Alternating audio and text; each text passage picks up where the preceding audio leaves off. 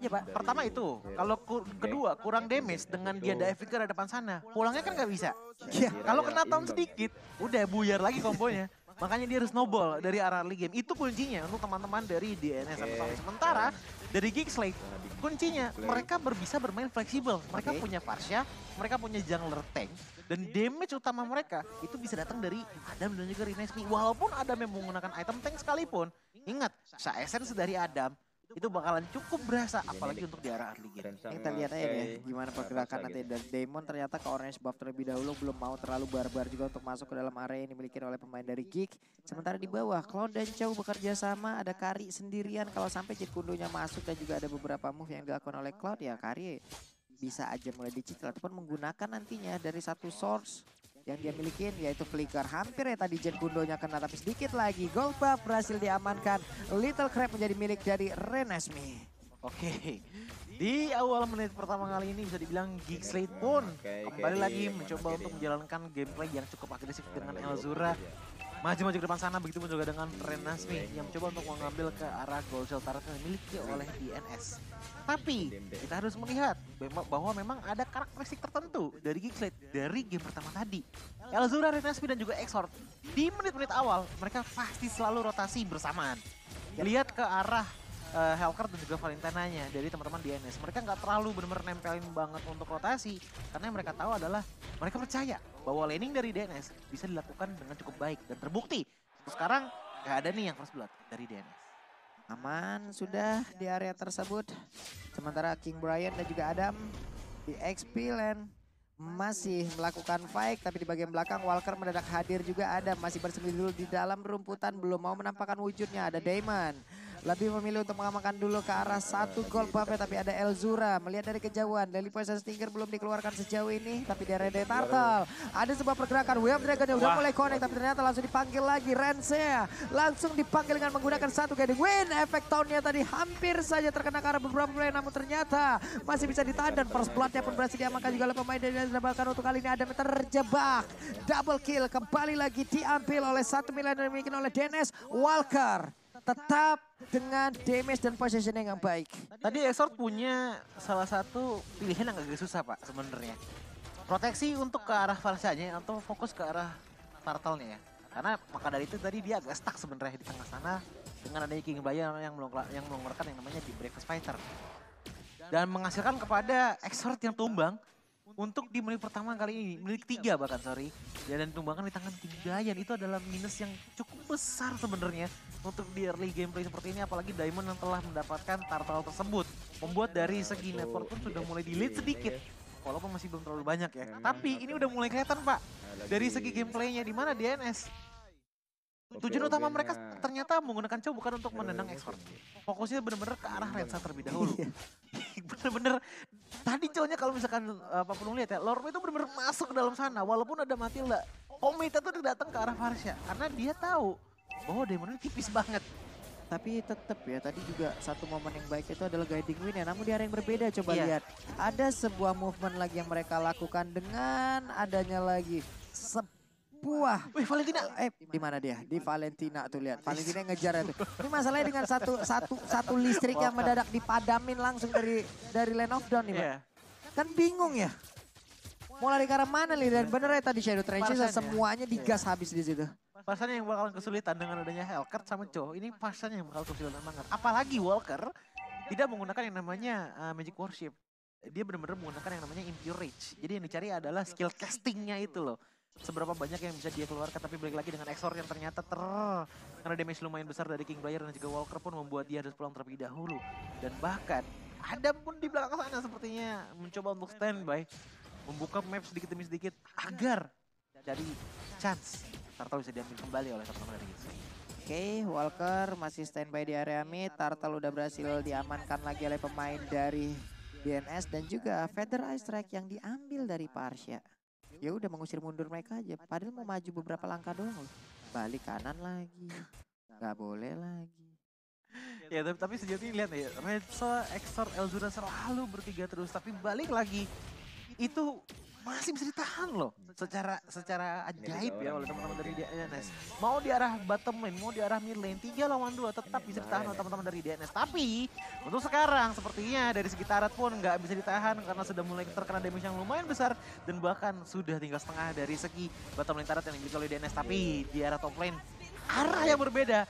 Diamond pun harus pulang terlebih dahulu karena Adam pun berhasil menemukan lapu-lapu dengan begitu cepatnya membuat Adam punya potensi untuk mengambil tarat di arah top lane. Begitu juga di arah bottom lane bagi teman-teman dari Big Slay. Oke, kita lihat Gilang akankah dia bisa menggunakan dari satu Blazing Duet yang dia miliki karena masih ada tuh dari ultimate-nya tapi ternyata berhasil diusir mundur cukup jauh ke bagian belakang. Oh, Fasya? Di area mid coba lihat Parsianya langsung berhasil diamankan akankah berhasil langsung didapatkan juga oleh pemain dan DNS tapi ternyata tidak. Renza masih berhasil kabur sedikit lagi SP Trisa di dalam tubuhnya. Outer turret di area bawah berhasil dihancurkan karena kita tahu untuk Cloud di awal agak sedikit sulit dan Blazing langsung dikeluarkan begitu saja. Renesmi yang mungkin karena sedikit lagi yang tersisa. Masih berhasil kabur dirinya.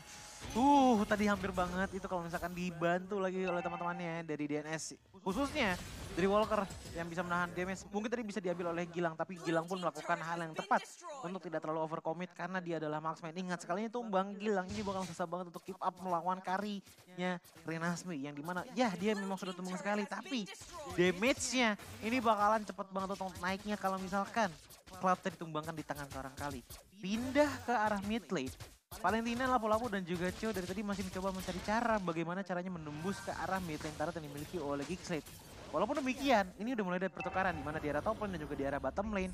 DNS lagi ngelit dengan adanya dua turret yang berhasil dihancurkan. Oke, ini kayaknya ya akan ada satu penukaran deh yang mereka lakukan. Tapi ternyata, iya benar aja.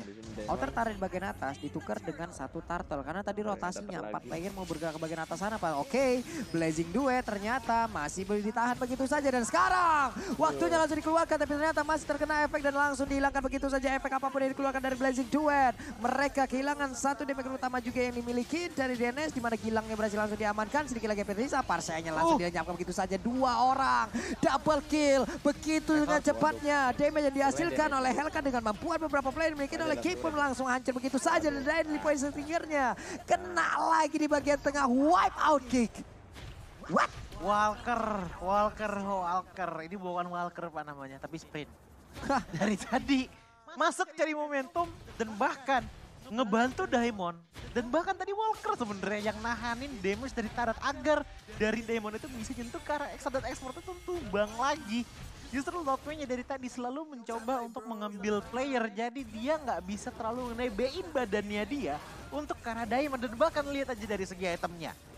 Dengan adanya DHX dan juga Malefic Lord di tangan Diamond ini udah benar-benar cukup banget untuk bisa membuat Exor jadi bubur. Cepet banget jadi buburnya. Ya walaupun pada tadi awal-awalnya ya Blazing. What?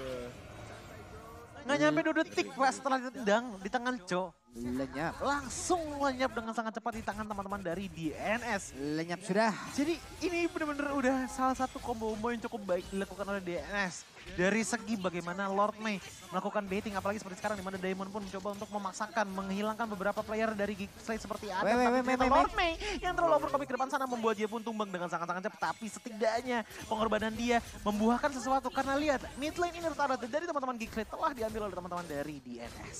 Kayak de- terkena efek jet kundo aja itu udah bisa langsung disambung dengan deadly poison stinger kalau emang deket di area tersebut. Apalagi kalau emang jet kundonya kena ke arah satu area.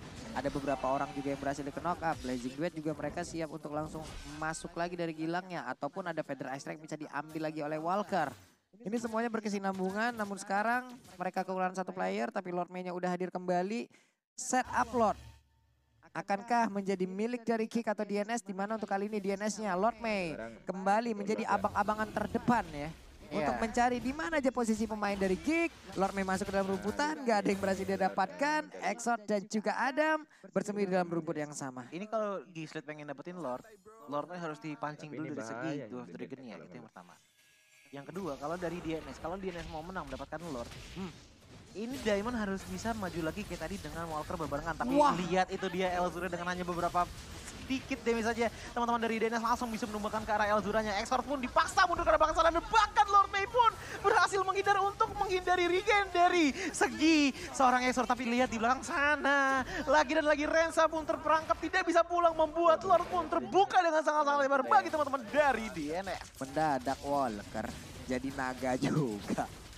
Dua orang loh tadi langsung dia habek. Padahal itu udah di depan pintu rumah, di depan pagar rumahnya loh pak. Hanya tinggal buka, tinggal masuk dan itu pun masih belum selamat. Purple Bab sekarang langsung diamankan lagi. Lord udah berhasil mereka ambil, semuanya mereka ambil. Benar-benar menjadi keuntungan penuh untuk DNS Renesmi. Masih menghilangkan dulu satu wave minion, gak mendapatkan space untuk bisa memberikan damage full terhadap siapa pun nantinya player yang dimiliki oleh DNS. Biasanya kan title post match itu ada sandbag, ada Rizga ya pak ya. Iya. Kalau sekarang untuk Walker beda pak. Apa Kalau Walker itu ada Walker, ada Flyer, ada Sprinter pak. Tadi Flyer ya terbang dengan Dragonnya. Tadi ada Sprint juga, dia masuk ke dalam team fight. Seperti Rambo, tidak memikirkan apa pun damage yang masuk. Bisa menghasilkan damage yang lumayan besar juga. Sampai sekarang yang belum tumbang itu cuma Walker pak. Ini network udah udah jaraknya udah ada beberapa item loh ini. Iya. Jadi dengan network di angka 8000 harusnya ada perbedaan untuk jungler sama jungler aja deh dua item harusnya. Minimal harusnya ada dua item. Tapi balik lagi dengan adanya Lord May yang mengembalikan stiker yang diberikan oleh Giggsy di game pertama. Lord pun sudah mulai diinisiasi di arah Oke, ada konsil, ada konsil. Kita lihat aja Lord May siap untuk masuk. Eh, balik arah dia langsung. Tampolin aja tapi Feather Ice Red sepertinya langsung ditutup saja tadi lapaknya. Satu bestar yang ada di area mid pun langsung berhasil dihancurkan. Oke sejauh ini masih belum ada tim fight yang terpancing bagi kedua belah tim. Tapi yang yang satu yang sudah pasti adalah dengan adanya Lord yang sudah mengeluarkan konsilnya harusnya dia agak susah untuk bisa menculik satu orang kecuali Buset. dengan flickernya. Dan bahkan Elzura pun masih bisa survive tapi ini Betul dia ya dengan inisiator dari Diamond yang mencoba untuk masuk Wah. dengan adanya Dark Knight Force ternyata bisa menghilangkan dua player dengan sekaligus Adam pun ditemukan di tangan seorang lapu-lapu dan bahkan empat player menghilang. Renza menggunakan ultimate-nya untuk bisa menahan minion tapi sayangnya lihat itu damage dari Diamond yang setidaknya membuat Renza pun mundur tapi Lord May pun memberikan stiker sambil melakukan tas-tas pada akhirnya membuat turret pun dimiliki oleh teman-teman dari DNS yang berujung kepada 2-0 untuk match pertama kita di hari ini. Dipojokin banget loh itu tadi pemain dari... Semuanya dipojokin ke tembok, Pak. Dipojokin. Semuanya nyerang ke sana dan Walker. Lu sakti sih. Ada Walker, Flyer, Sprinter, Pak. Sprinter. Itu banyak Pak title Pak.